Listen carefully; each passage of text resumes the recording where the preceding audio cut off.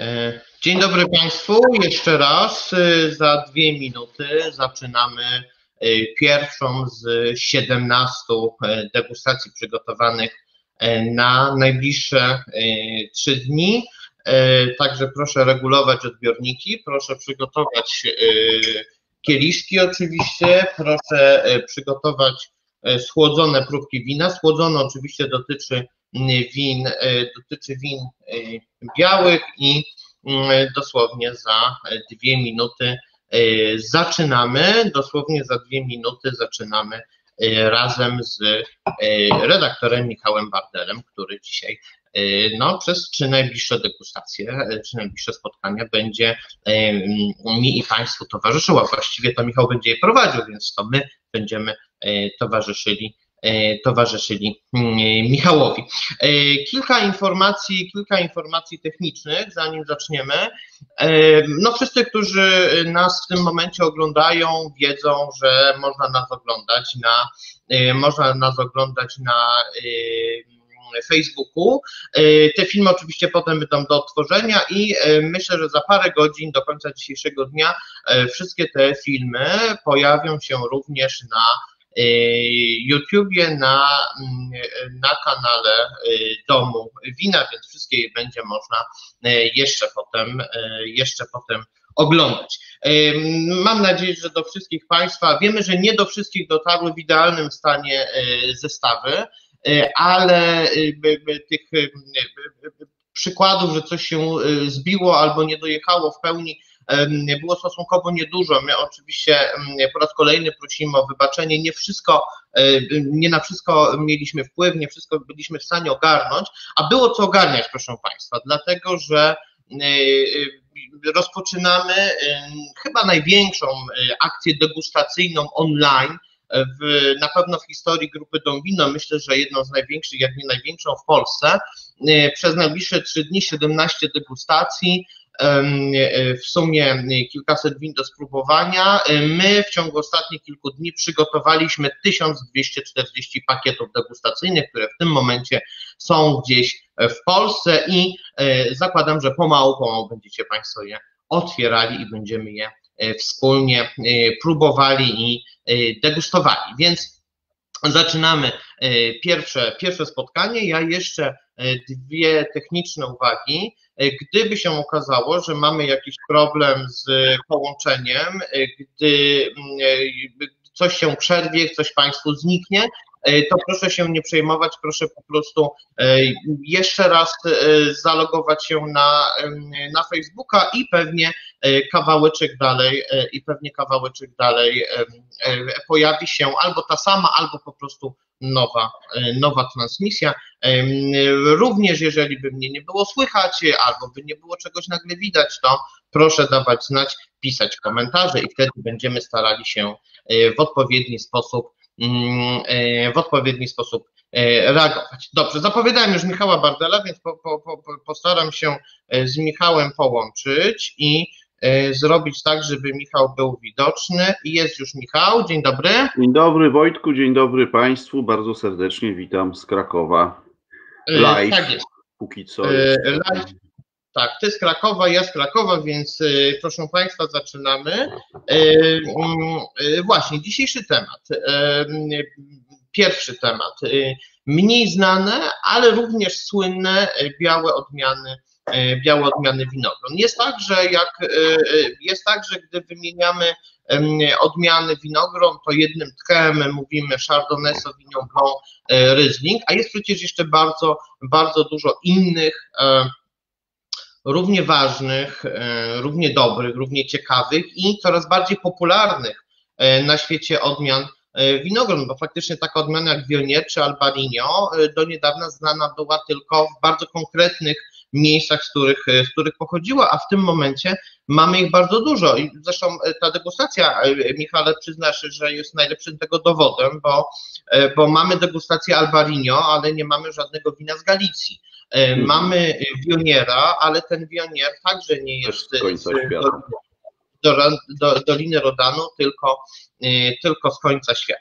No właśnie, w takim razie e, zaczynamy i spróbujmy te te odmiany w jakiś sposób sobie dzisiaj przybliżyć, a przede wszystkim skosztować. Ja jeszcze tylko chciałem powiedzieć, że bardzo dziękuję za wszystkie powitania. Bardzo się cieszę, że już dość spora ilość osób jest na Facebooku. Zachęcam też oczywiście do komentowania, a E, a my co, Michał? Zaczynamy. Ja Ci w takim razie oddaję głos e, i pokazuję prezentację.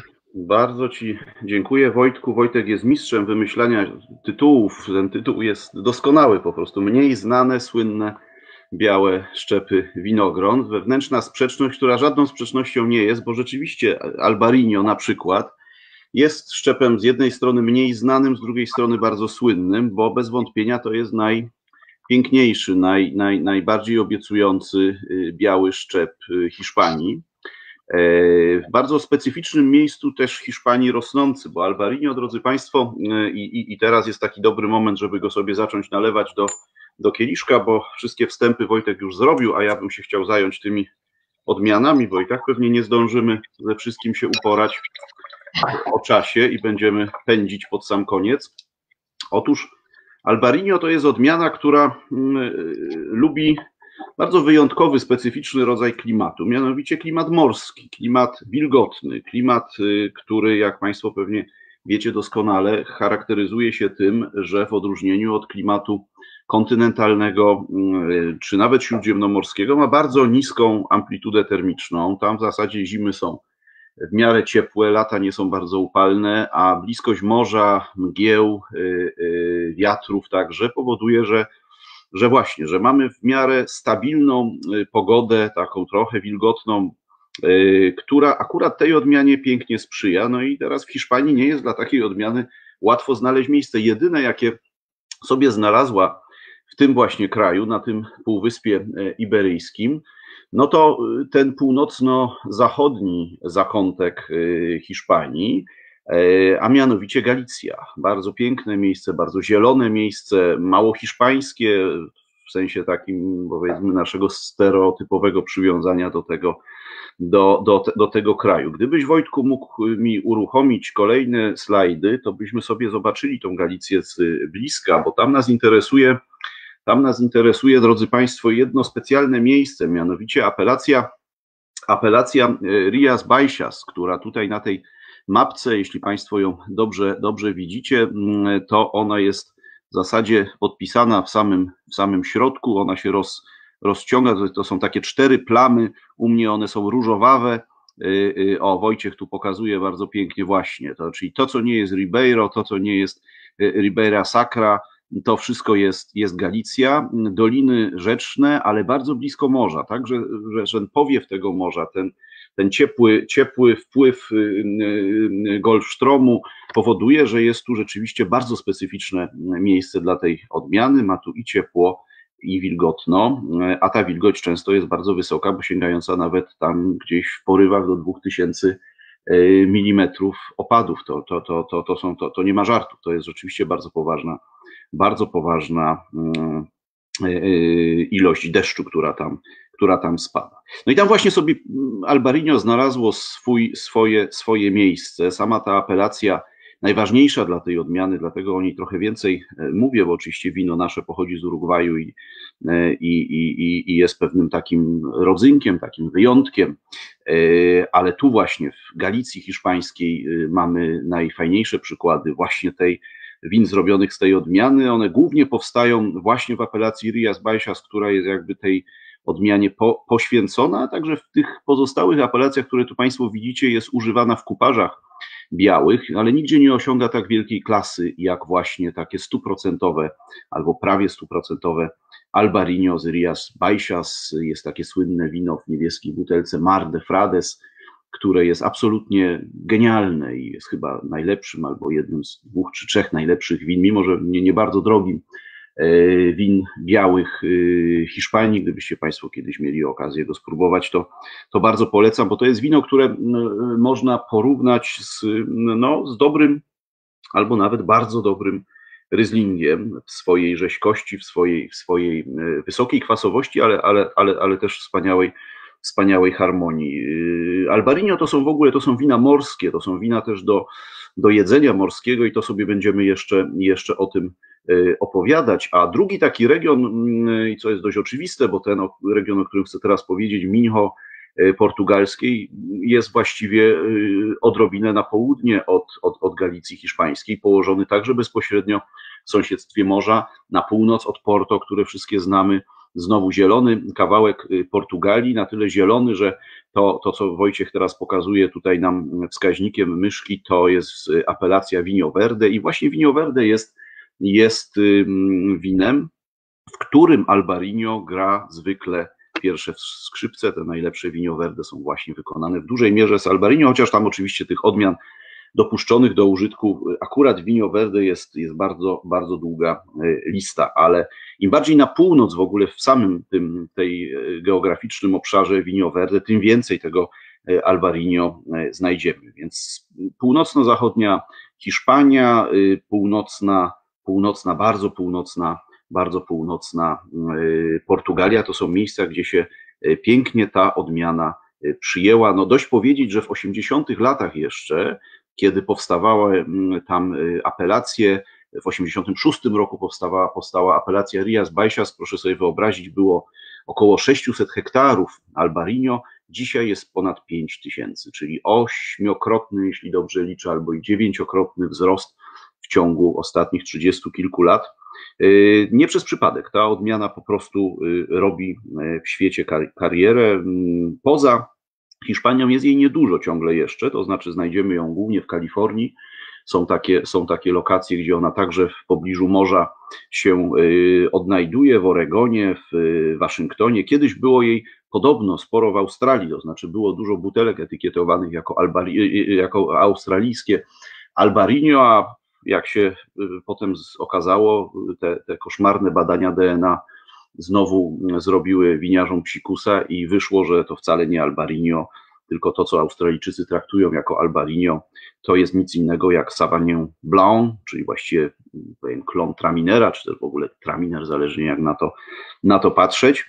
Yy, takie pomyłki oczywiście Państwo wiecie, zdarzają się doskonale, głównie Chilijczykom, ale Australijczykom także. Nie wiemy skąd się ta odmiana wzięła, znaczy były bardzo różne koncepcje dotyczące Y, Albarinio, y, próbowano ją wywodzić od, y, czy, czy wiązać z podróżami mnichów do Komposteli, że gdzieś tutaj przy, przy, przywleczono ją, ją na przykład z Francji, podejrzewano cystersów, podejrzewano ją o pokrewieństwo ze względów aromatycznych, przede wszystkim no, pokrewieństwo z Ryzlingiem. Ja zresztą do tego Ryzlinga ją też porównuję, bo to wino w swojej świeżości, takiej, takiej cytrusowości rzeczywiście tego Ryzlinga bywa, że że przypomina, porównywano ją z, także z Petit Manseng, taką gaskońską, bardzo, bardzo interesującą e, odmianą czwarto, czwartoligową, ale, ale, ale piękną. Ostatecznie okazało się znowu przez te e, badania e, DNA, które burzą mity i niszczą najpiękniejsze legendy genealogiczne, że, że nie, że to właściwie jest odmiana bardzo lokalna, galicyjska, jeśli ma jakieś y, y, pokrewieństwo z innymi odmianami, to wyłącznie lokalnymi, właśnie z północy Portugalii i z północnego zachodu, zachodu Hiszpanii. Jak to to pachnie? Co, to, co, co powinniśmy w, w, tej, w, tej, w tym kieliszku znaleźć? No to mamy przed sobą. I, to jest, myślę, tak. i, o tym, co, I o tym, co pachnie, porozmawiamy sobie za chwileczkę. Ach, bo, bo mamy film. Właśnie, bo mamy film, dlatego że dlatego że z nami e, również może nie bezpośrednio na żywo, ale duchem i właśnie filmem są, e, są winiarze, którzy e, przygotowali dla nas krótkie degustacje wybranych win i mm, no i właśnie chciałbym, abyśmy teraz usłyszeli, co w winnicy Garçon mówią właśnie o tym winie, które w tym momencie mamy Mm, które w tym momencie mamy. I'm Herman Brusone, I'm the winemaker of Bodega Arzon, and I'm here today to introduce you our Albarino. For us, it's our focus wine, it's our white focus wine, and for me personally, it's one of that I love. It's a lightly colored Albarino, it's clean, crispy, it has good acidity. The acidity is it's a natural acidity. It comes from the ocean.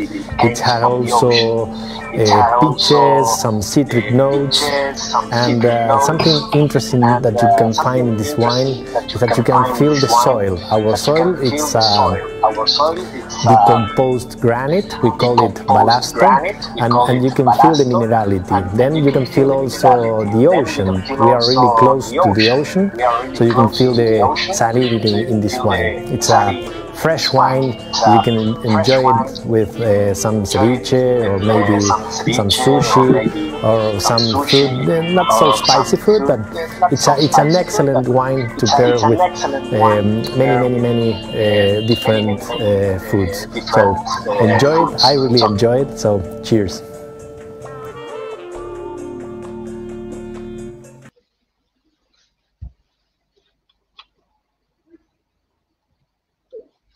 No więc liczyłem, że dowiemy się, do czego można, do czego można y, użyć takiego albarino y, i coś więcej niż many different foods, więc będę musiał sam troszkę o tym opowiedzieć. Y. Ale to, to, to też ja chciałem dwa słowa powiedzieć. O, to, to właśnie, kto jak nie.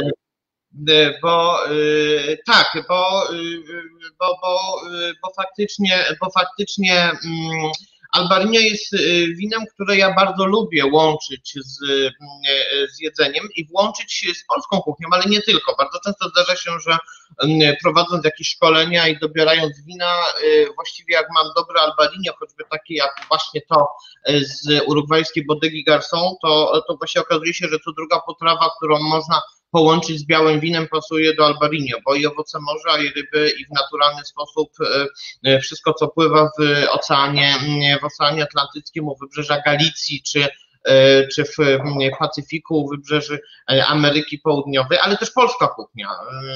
Świetnie, świetnie pasuje do, Mm, czy dań z kapustą, przez tą właśnie wyrazistość, kwasowość, mm, ale też bardzo dobrze dzięki temu, że ma te cytrusy, to spasuje nam do takich lekkich, delikatniejszych e, mm, sałatek.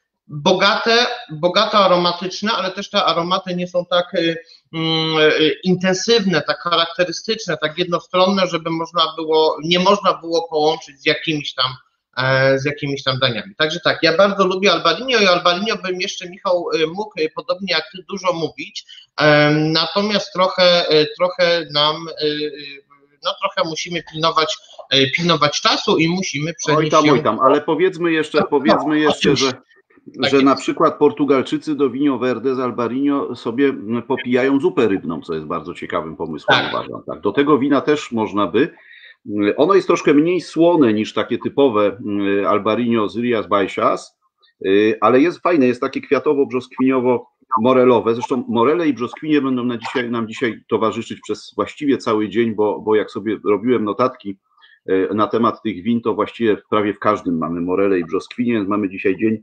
moreli i, i, i brzoskwini. Dużo kwasowości jest w Albarino. To jest to co, to, to, co powoduje, że to się z kuchnią przepięknie E, łączy. E, alkoholu trochę, trochę mniej i trochę goryczki. Ja strasznie lubię, nie wiem, czy masz takie wrażenie, ale taka odrobina goryczki na finiszu szczególnie, coś, co mamy w Pinot Blanc, coś, co mamy właśnie w Albarino, to jest y, bardzo fajna cecha gastronomiczna, to znaczy taka goryczka fajnie przygotowuje podniebienie na, na kolejny kęs jakiego, jakiejś ośmiorniczki, prawda, z, z sałatce ziemniaczanej. No to jest e, dla mnie rzeczywiście to takie po, bardzo hiszpańska ta, ta, ta, ta pulpo ala galega, tak, ta ośmiornica z, z ziemniakami, y, z takim winem jest doskonała, jeszcze z takim właśnie y, sosikiem cytrusowym podana, podana na, na kwaśno. To jest właśnie coś takiego. To... Ale, ale jak jesteśmy przy ziemniakach i przy cytrusach, to mm. ziemniaki, cytryna i kotlet schabowy. Mm. Bardzo dobrze. No właśnie, to jest dobre połączenie. Jeśli ktoś lubi skrapiać kotlet schabowy cytryną, ja tego nie lubię robić, ale to zależy oczywiście wszystko od mm, naszych indywidualnych gustów. E, dobrze, idziemy dalej Wojciechu, prawda? E, tak jest, idziemy, idziemy w takim razie dalej, czyli kolejne, kolejne Otwieramy kolejną buteleczkę, buteleczka numer dwa, gdzie mamy cinandali, które oczywiście nie jest odmianą winorośli. Tak jest. E, jak nam dobrze wiadomo, jest natomiast klasycznym kuparzem, w którym 85% zajmuje najbardziej znana gruzińska odmiana Arcacitelli.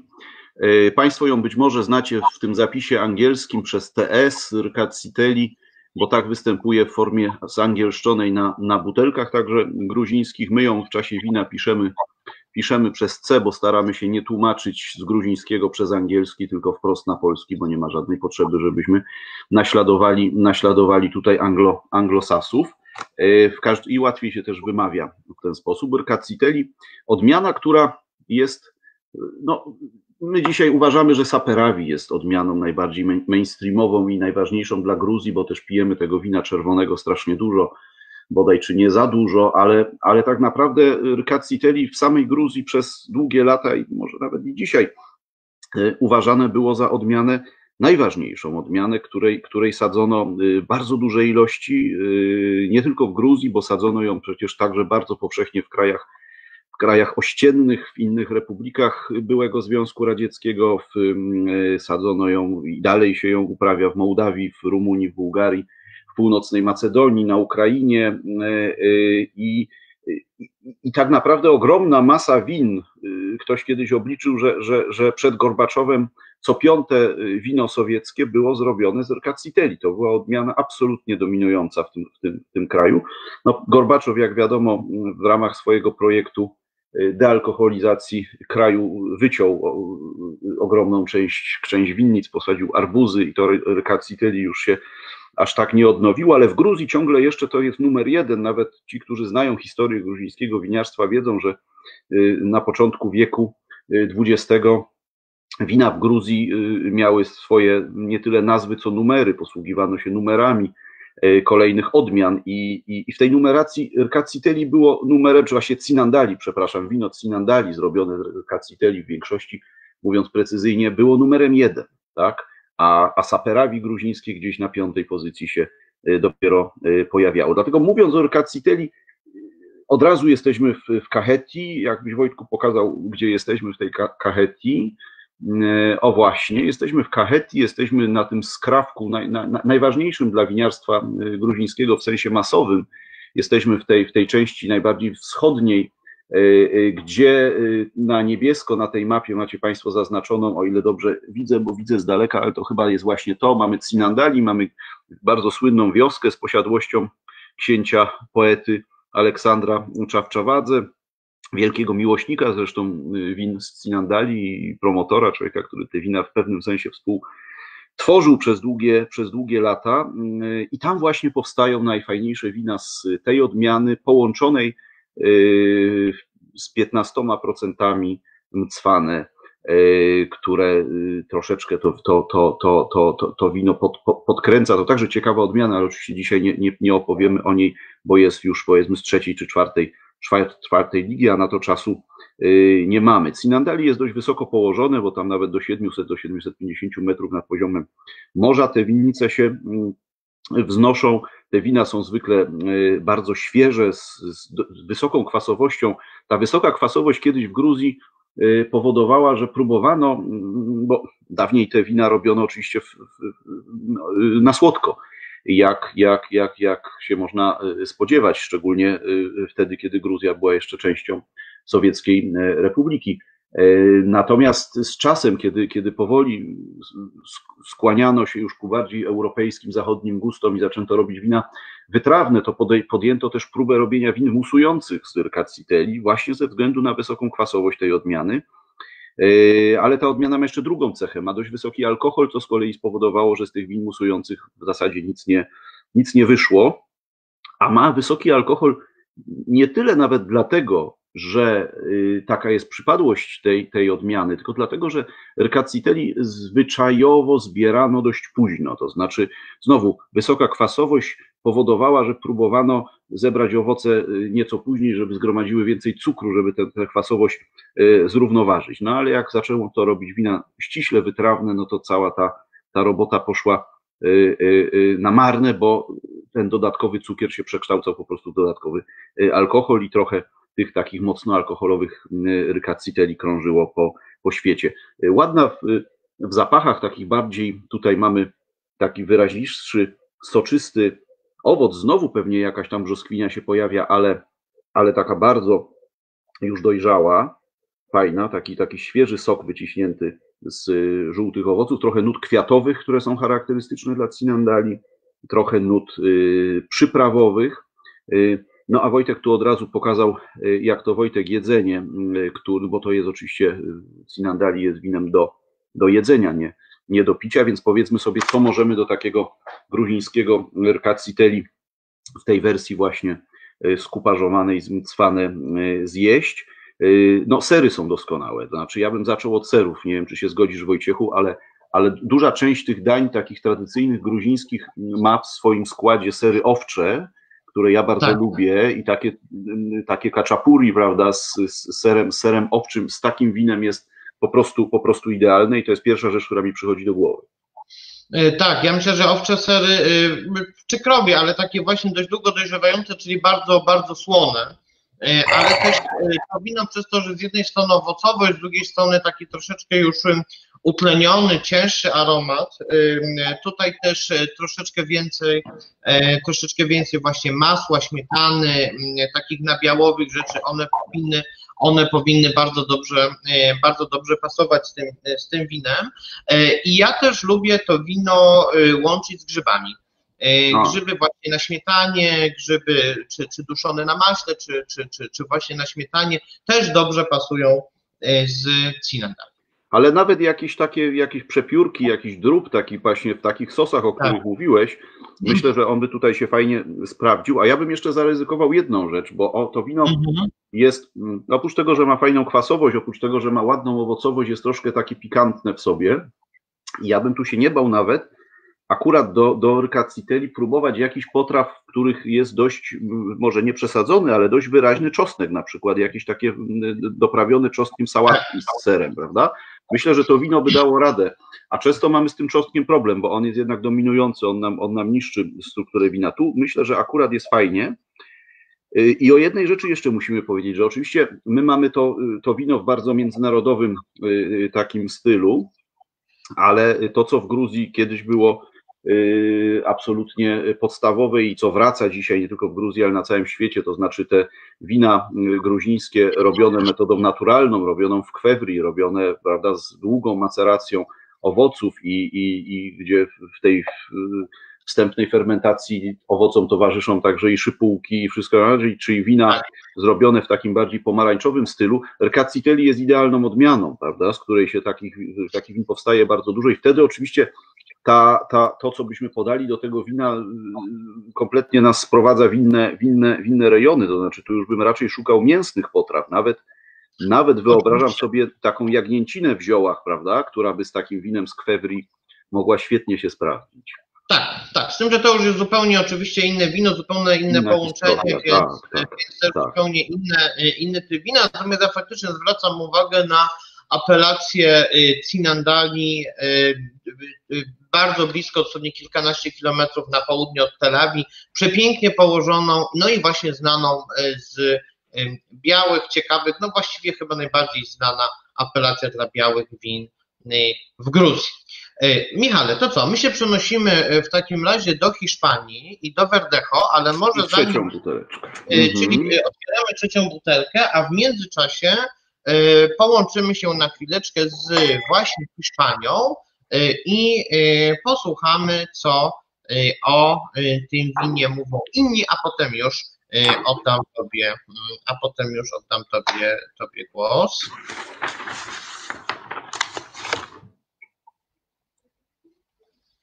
My name is David Handelweje. I work for uh, Zamora Company Global. Zamora Company Global is a Spanish family-owned business. we have uh, spirits in our portfolio and also several wineries uh, in our in our portfolio. And one of the wineries that I will comment to you today is called Ramon Bilbao.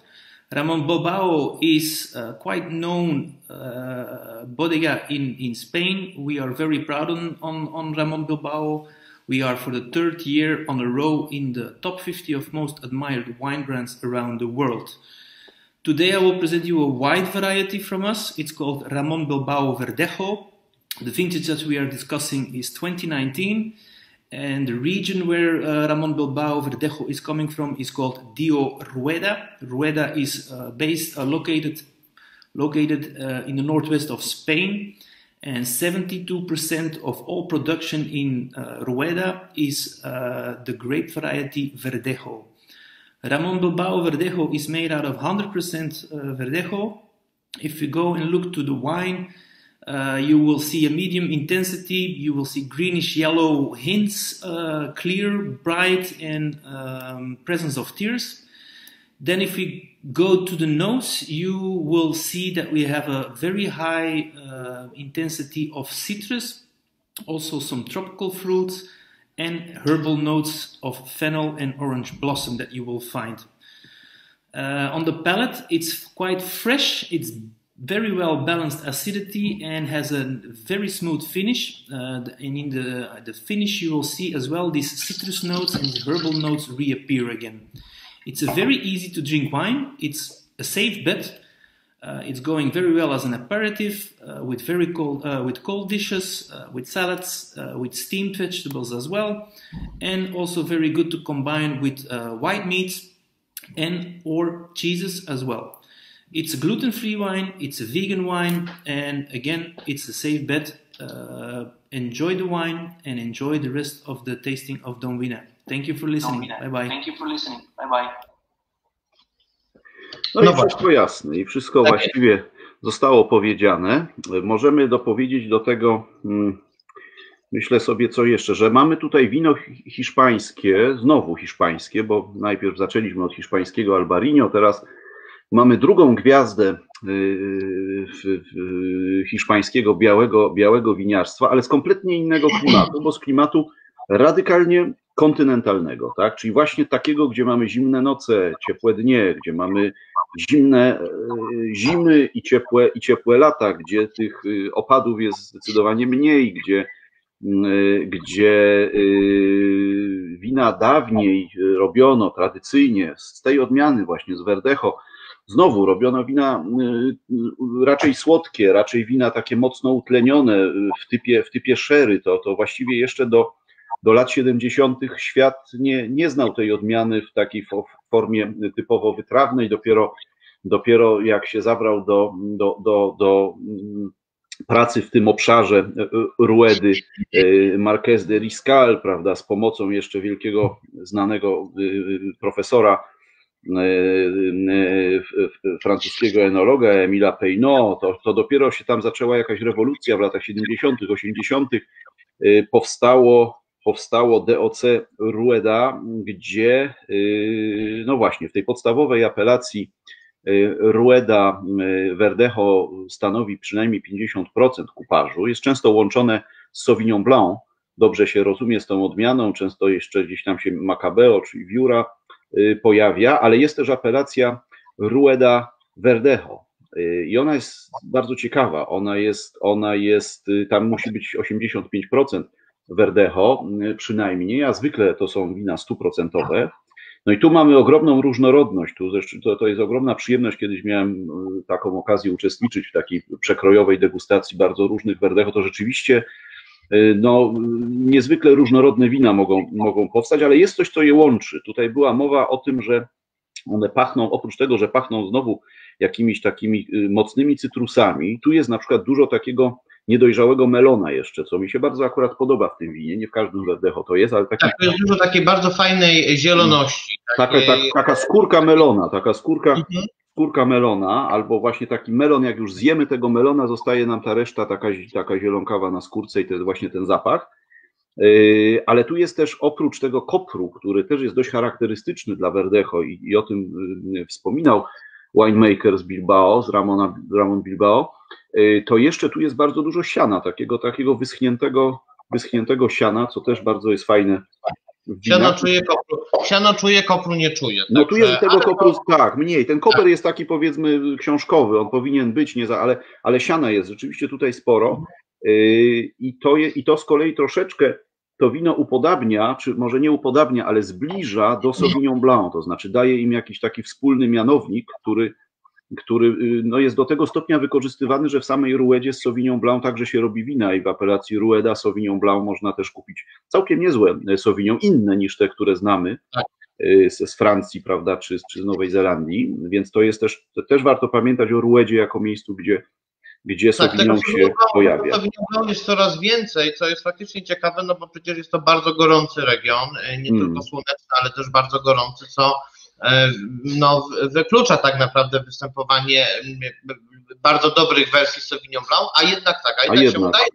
To jest ciekawostka, że ta Rueda jest właściwie otoczona, otoczona regionami czerwonych, czerwonych win, a, a w środku właśnie wokół tych, znaczy wewnątrz tego pierścienia czerwonych apelacji mamy mamy mhm. białe tak dobre. Taką enklawę. Ale też powiedzmy, że ta, te winnice są dość wysoko położone znowu, to gdzieś tam jest tak. 800 metrów nad poziomem morza, więc ten klimat nie jest, nie jest aż tak gorący, jakby mógł być w tej części, powiedzmy, prawda, Castylii Leonu i to powoduje, że te białe odmiany się tam, że one się tam, zresztą w ogóle jest ciekawe, bo ja nie, nie wiem, ale wydaje mi się, że, że, że Rueda jest w ogóle chyba pierwszą albo jedną z pierwszych apelacji w Castylii Leonie, jakie w ogóle powstały, więc to też o czymś tak. świadczy, prawda, że Hiszpania niby kraj win czerwonych, ale jednak, jednak ta, ta, te, te białe wina tutaj y, także y, są y, do, do zapamiętania. No i tu też mamy taką lekką goryczkę w finiszu, co też powoduje, że fajnie to wino można dobrać do, do, do, do jedzenia. Do czego byś to sobie y, zażyczył, Wojciechu? E, no wiesz, ja jak mam białe hiszpańskie wino, no to najchętniej y, po prostu do tapasów, czyli do, y, no. do czegoś drobnego. Tutaj więc, więc sery, oliwki, owoce, wszystkie drobiazgi, zresztą e, tutaj patrzę na prezentację, że, że właśnie coś takiego i ty, i, i ty zaproponowałeś. To już jest wino, y, tutaj te aromaty, ta owocowość, kwiatowość, melonowość tego wina już powoduje, że ono nie będzie tak bardzo i tak super uniwersalne do wszystkiego. Natomiast e, lekkie aromatyczne sałatki. E, ten melon mnie nakierował na melona z, z szynką, z, z hamon serrano. Ale też awokado, sałatka z awokado na przykład, wiesz, z konim serem, coś takiego. To, tak, sery, awokado, więc takie bardzo aromatyczne, gdzieś tam mieszane z awokado, ale też gdzieś z owocami, właśnie może z melonem, może, może z, z bardzo słodkimi pomidorami, więc raczej w tą stronę, już na przykład do pieczonych ryb, do gotowanych do w ogóle dań y, z owoców morza czy z ryb na, na ciepło, y, Pewnie nie, bo troszeczkę nam się te aromaty tutaj. Znaczy ja, ja też tutaj. Trady, tak, tradycyjnie Verdecho bywa polecany też do owoców morza, ale pamiętajmy, że Verdecho też występuje właśnie w tych rozmaitych swoich wydaniach w samej Ruedzie. Ono tak. ma takie trochę dwie, dwa, dwa typy, to znaczy z jednej strony mamy takie lekkie mineralne e, Verdecho, które być może do tych owoców wina, owoców morza, owoców wina e, się może nadawać, e, ale są też Verdecho i to jest przykładem raczej takiego Verdecho nieco cięższego, nieco bardziej mhm. oleistego tam, prawda? I i ono nas skłania już bardziej do takich właśnie nie, nie, nie, nie, nie, nie owoców morza, ale może właśnie bardziej czy sałatek, y, czy, czy, czy, czy, czy awokado, takie dymne, cięższe, cięższe verdecho. Y, no i już nie jesteśmy nad morzem, więc nie musimy tych za tymi ośmiornicami gonić, prawda? Tak jest. Michale, nie będziemy nad morzem również opowiadając o Torontesie. Ja tylko mam wrażenie, że ty nie masz zegarka, ale ja mam. No dobrze, spokojnie. Damy radę. Więc zostało nam 20, y, a właściwie 15 minut na y, kolejne trzy wina, więc w takim razie przenosimy się, proszę Państwa, do Argentyny i y, próbujemy, próbujemy Torontesa. Tak jest. I tu jesteśmy, i tu jesteśmy u siebie znowu, to znaczy mamy Torontesa z Argentyny i ten Torontes, którego mamy w kieliszku jest jest argentyński, bo w zasadzie poza Argentyną y, ciężko go gdziekolwiek znaleźć. Jest to bardzo, bardzo argentyńska odmiana, można powiedzieć naczelna, główna argentyńska odmiana, która y, właściwie występuje w trzech różnych, niektórzy mówią mutacjach, niektórzy, niektórzy traktują je jako jednak odrębne od siebie, y, przynajmniej jedna jest odrębna, a dwie być może mają więcej ze sobą wspólnego. Mianowicie to, ten Torontes, którego mamy w kieliszku, to jest Torontes Riojano, naj, najbardziej popularny, który pochodzi z La Riochy. Jakbyś nam mapę pokazał, to byśmy sobie tą La Riochę zlokalizowali. Ona jest na północ od Mendozy. Yy, yy, o właśnie, o właśnie tu. Tutaj powstał, tu stąd pochodzi ta, ta aromatyczna wersja, y, chyba najbardziej aromatyczna wersja y, Torontesa. Mamy też Torontesa z San Juan, mamy Torontesa z Mendozy, ten z Mendozy jest najmniej aromatyczne, ale one są powiedzmy mniej w użyciu. Co do tych dwóch pierwszych, to znaczy riochańskiego i, i sanjuańskiego, wiemy, że one dzisiaj już wiemy, i to było pewnym zaskoczeniem także dla ampelografów, że znaczy nie było zaskoczeniem, że, że, że, że jednym z rodziców jest muskat, bo, bo to wino ma bardzo dużo muskatowych nut, jak Państwo się w niego wwąchacie, to tutaj bardzo delikatna taka nuta świeżych winogron, owoców liczy się pojawia. Yy, więc muskat nie był zaskoczeniem, to jest muskat aleksandryjski. Natomiast drugi z rodziców był zaskoczeniem, bo to jest odmiana Pais albo Mission, czyli ta, ta bardzo, bardzo południowoamerykańska, ten południowoamerykański szczep yy, pogardzany przez lata, a dzisiaj na zasadzie eksperymentów, już nawet nie eksperymentów, wracający do, do łask tu, tu i ówdzie. Więc stary, dobry Mission i Muscat Aleksandryjski dały w Argentynie trzy różne wydania Torontesa, bardzo muszkatowego wina, bardzo przez to mocno aromatycznego, choć oczywiście nie tak aromatycznego jak Gewurztraminer na przykład. Te nuty gdzieś tego Gewurztraminera przypominają, Y, niemniej są nieco bardziej stonowane, co akurat ja bardzo, bardzo w Torontesach y, lubię.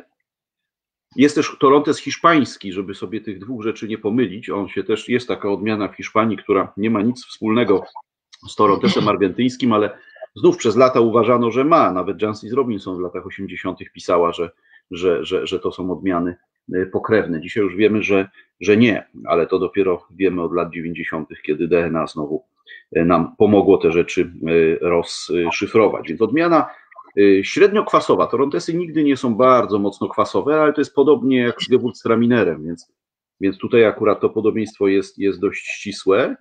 Natomiast jest właśnie świeże, wysoko aromatyczne, bardzo gładkie w ustach. To jest pewna różnica, bo Gewurztraminer zrobiony na Y, na, na wytrawno często jest jednak taki mocno ziemisty, y, trudny, y, bez, bez odrobiny, ma tą goryczkę, jest może fajny gastronomicznie do pewnych potraw, do, ale taki do picia powiedzmy jest, jest, jest, jest trudniejszy niewątpliwie. Torontes jest bardziej gładki, bardziej oleisty w ustach, no i znowu te brzoskwinie i morele się pojawiają, których, ale to w ustach przede wszystkim, w nosie jednak bardzo mocno czujemy te winogrona, kwiaty, winogrona kwiaty. Tak. I on przez to zresztą jest y, wbrew pozorom dość trudny do, do łączenia z potrawami. Nie wiem, nie wiem co, co, co, co, ty, co, ty, co ty proponujesz. Mm. Um, natomiast y, dla mnie to jest y, takie wino, które właściwie najlepiej smakuje samo bez jedzenia, albo ma już coś bardzo charakterystycznego, przygotowanego konkretnie pod to, E, pod to wino, czyli e, coś z, jakieś danie, w którym są dokładnie te same aromaty, które występują. No albo tak, albo rzeczywiście mhm. w tę stronę. On jest piekielnie słony, nie wiem czy masz takie wrażenie. On jest tak jakbyś dosypał tak. soli do, do wina.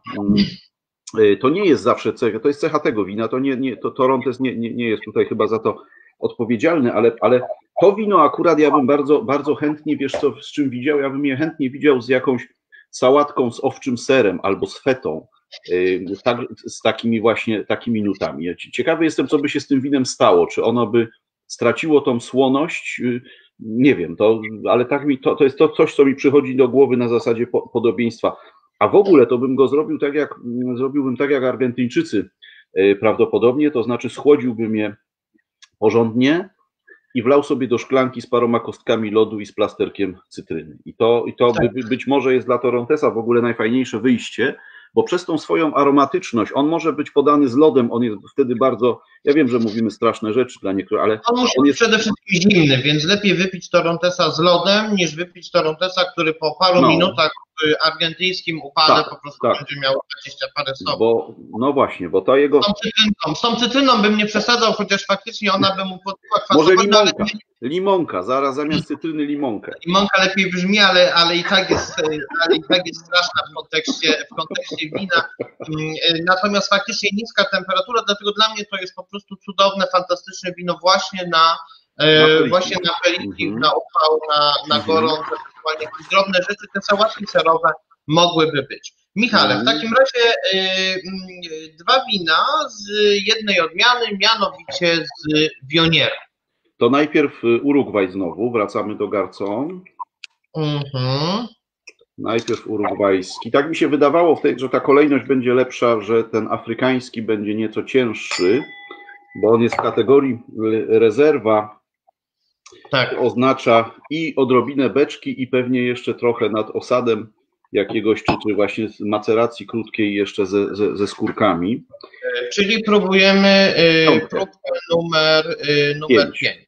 5. Tak I znowu, y, drodzy Państwo, morele i brzoskwinie nam się pojawią, a tutaj chyba będzie najwięcej, bo wionier jest właśnie taką bardzo żółto-owocową odmianą, lubi takie, takie, takie nuty, one są dla niego bardzo, bardzo charakterystyczne. Odmiana Odmiana bardzo ważna dzisiaj, chociaż co nie do uwierzenia mm, w zasadzie w latach 60. na, na, na, na granicy no, wymarcia, tak? Znaczy praktycznie jej nie było. Niektórzy twierdzą, że 12 hektarów, niektórzy, że 8 zostało we Francji w Dolinie Rodanu upraw tej, tej odmiany, mm, a właściwie w latach 90. stała się jedną z najbardziej takich modnych białych odmian na, na, na świecie, w pewnym sensie synonimem takiego białej, białej doliny Dolinę Rodanu. I do dzisiaj jakby ten pochód Bioniera trwa, bo jest to odmiana niezwykle charakterystyczna, niezwykle właśnie taka przyjemna, myślę, dla sommelierów, bo, bo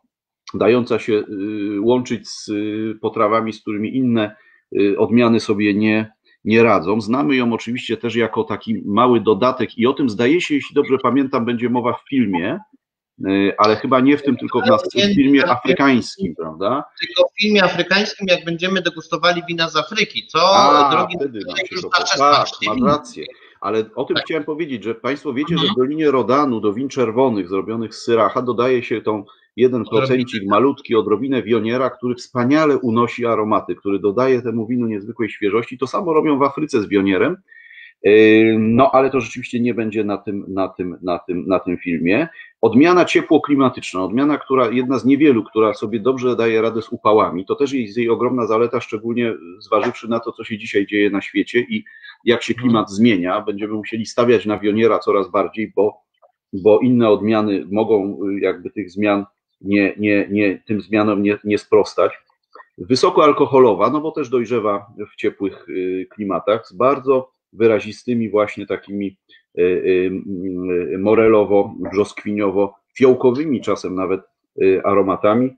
Trzeba ją pić szybko, to jest bardzo ważna rzecz.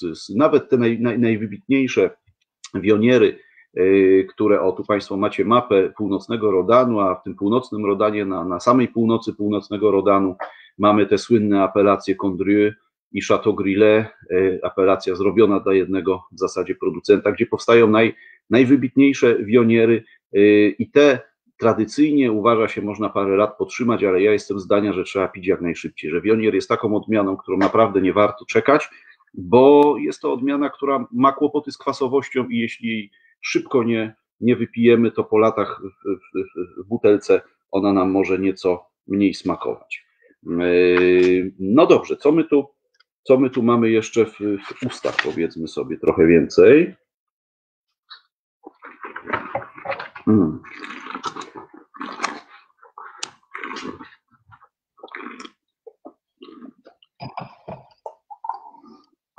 Dużo charakteru, dużo, dużo ciała, dużo takiej gęstej oleistości, dużo też alkoholu. No to to wszystko nam się składa na to, co nazywamy ciałem e, w tym winie.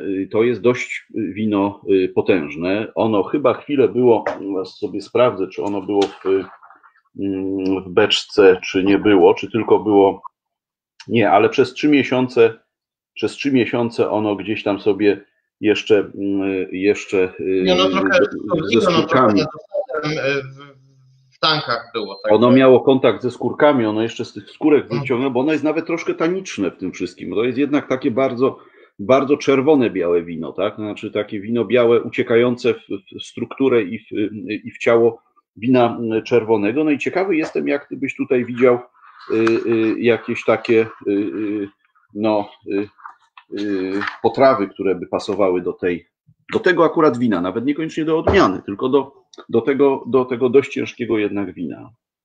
Tak, ono jest dość, ono jest dość ciężkie, znaczy dość bogate, dość intensywne, mm -hmm. dość pełne, ma, ma wysoką kwasowość, ma um, pełny, bogaty aromat, ale to nie są jakieś bardzo charakterystyczne zapachy. To nie jest tak, że on bardzo intensywnie pachnie kwiatami, melonem czy czymś innym. Co, co ciekawe, bo, bo ten rodański wionier często jest taki bardzo aromatyczny i bardzo, bardzo perfumowany. Ja bym się tutaj nie bał białych mięs, czy też właściwie no, na pewno. białych mięs i i to może być drób, to może być, to mogą być indyki, to, to właśnie mogą być jakieś takie bardziej szlachetne, szlachetny drób, czyli jakieś perliczki, przepiórki, y, coś takiego i do pieczonej ryby. Do pieczonej ryby, mm -hmm. czyli nie mhm. smażonej, nie ryby na, na, na tłuszczu, nie ryby w jakichś śmietanowych sosach. Tutaj właśnie raczej coś, co jest na oliwie niż na maśle czy głębokim, czy głębokim oleju. Mm -hmm. Coś takiego. Nie bałbym się ziół, także tutaj może być na przykład kurczak czy ryba z dużą ilością e, ziół, takich bardzo aromatycznych i e, przyprawowych. Ja bym też się zastanawiał nad jakimiś serami takimi twardszymi, wiesz, takimi, takimi wręcz, które gdzieś z czerwonym winem by się też dały, dały spróbować, czy, czy, czy z jakiegoś e, dojrzewającego, dojrzewającego sera może nie takiego już bardzo, bardzo słonego, bo to by nie, ale takiego jednak dość, do, chwilę dojrzewającego. Być może to jakiegoś grujera na przykład y, można by tak, takiego. Ja jestem w ogóle zwolennikiem y, tego, żeby, że sery, czy też uważam, że sery częściej lepiej smakują z białymi winami. Zdecydowanie mhm. większa część serów smakuje z białymi, z białymi winami, jest właśnie takie pół, pół, pół, pół twarde czy pół miękkie, pół miękkie sery, też mocno aromatyczne, może niekoniecznie z jakimiś przerostami pleśni, ale takie już też dojrzałe, wiekowe. Mhm. Oczywiście, że tak, one by bardzo dobrze, bardzo dobrze z tym pionierem e, z tym wionierem smakowały. Ja zwracam uwagę na bardzo dobrą cenę tego wina. Państwo na kartach degustacyjnych e, macie te ceny i to jest też bardzo duża, e, bardzo duża wartość tego wina. No to spróbujmy, Przechodzimy, tak, tak. Szósteczka, czyli Zimmers Fonten Carpe tak Diem Vionier. Taki, taki down do naszej degustacji, która e, afrykańska, która już niebawem. E, no właśnie, Vionier z Afryki Południowej. No i tu jest ten zapach jeszcze, jeszcze wyrazistszy.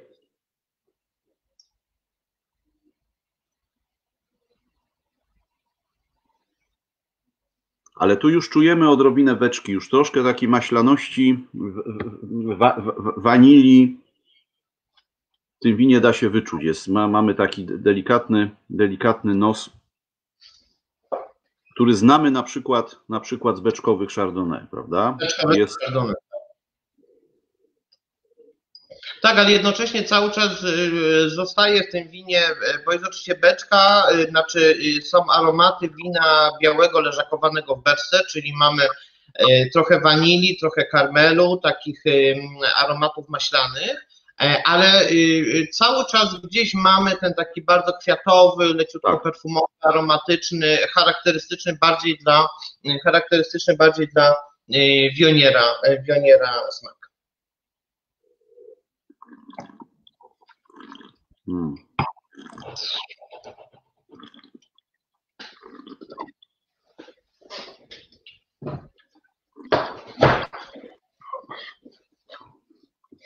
Wcześniej był zapach, a teraz jest y, taki właśnie doskonały, mm, doskonały y, smak.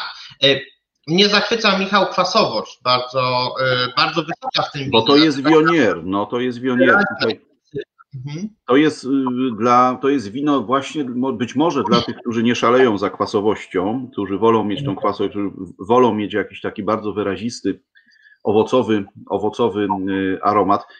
Jest w ustach to wino niesłychanie przyjemne, jest takie bardzo, tak. bardzo przyjazne, a przy tym znowu bogate, bardzo głębokie. To, to, to nie jest wino tak. aperitifowe, to jest wino ewidentnie do, do jedzenia. Do jedzenia. To jest wino do jedzenia, które jeszcze może tylko zyskać, jeśli je, jeśli je zderzymy właśnie z, z jakimiś takimi białymi, białymi mięsami. Białymi mięsami, pieczonymi, e, pieczonymi rybami. Tutaj już nam może się pojawić e, jakiś element masła, śmietany, e, sosów serowych, bo, bo, bo fermentacja w beczce to, to, to, to, to wszystko nam, nam tutaj otwiera. Natomiast cały czas ta wysoka aromatyczność, więc czy jakiś bardzo aromatyczny dodatek z jakąś taką sałatą ze świeżymi ziołami, czy, czy jakaś taka bardziej żywa, bardziej intensywna przyprawa, czy dodatek. A nie widziałbyś, nie widziałbyś tu, drogi kolego, ślimaczka na przykład takiego burgundzkiego z przyprawami, z tak. tym matełku, prawda, masło wyciąganego ze skorupki. Zioła i przyprawy, prawda? Czyli wszystko, tak. gdzie mamy czosnek, zieleńka, taki duszony czosnek. Tak jest.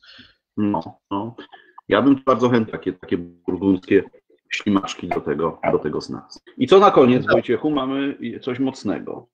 E, tak, e, na koniec mamy coś mocnego, ponieważ proszę Państwa, tak to sobie wymyśliliśmy, żeby e, każdą, każdą naszą degustację kończyć czymś mocniejszym. Będą to przede wszystkim różne rodzaje, mm, różne rodzaje wódek E, wódek Dwór Sieraków, e, które pewnie część z Państwa zna, ale może nie wszystkie, e, nie wszystkie odmiany, nie wszystkie, mm, nie wszystkie rodzaje. Będą też inne wina, inne wina, inne wina, inne alkohole mocne.